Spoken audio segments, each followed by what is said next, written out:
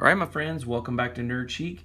I've been asked on this episode of Nerd Chic to do a tutorial explaining how to send both your desktop and your sound through a Zoom um, on a Chromebook. And that is a little bit more challenging. Um, this came from a request from someone on YouTube, one of our viewers, subscribers that asked for this tutorial. You can also ask for tutorials yourself.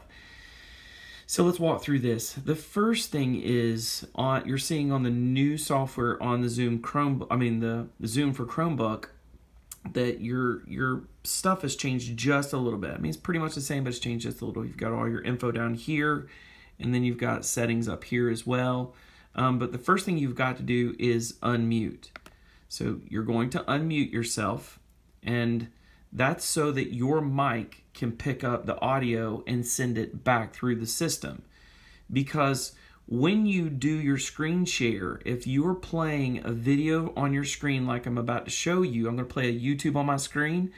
When you play that YouTube video and you're broadcasting it through the screen, it's actually going to come through your speakers and then pick up on your mic. Make sure you're unmuted. You have to be unmuted, but at the same time, realize this when that video plays, everything that's around the microphone on this computer is going to be captured.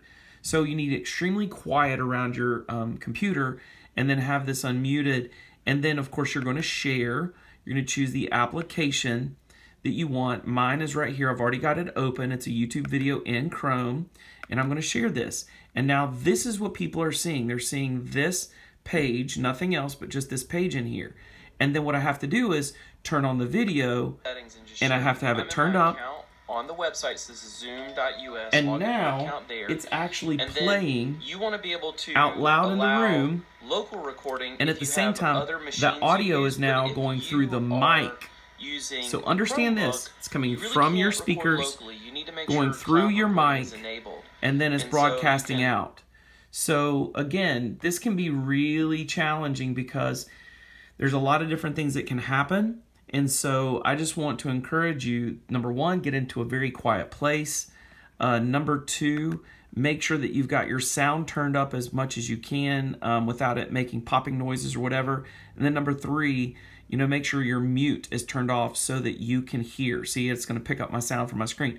Last thing, go out there and test this over and over and over with a friend before you do a live presentation. Don't just hop on a video and think, I'm going to do this live.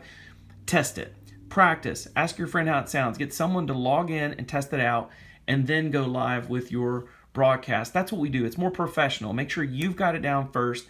If you're doing a Chromebook, this is challenging, but it can be done. Okay? All right. Thanks for tuning in to Nerd. If you've got any other requests, um, for anything, just tell us right here in the comments, reach out, and don't forget to subscribe.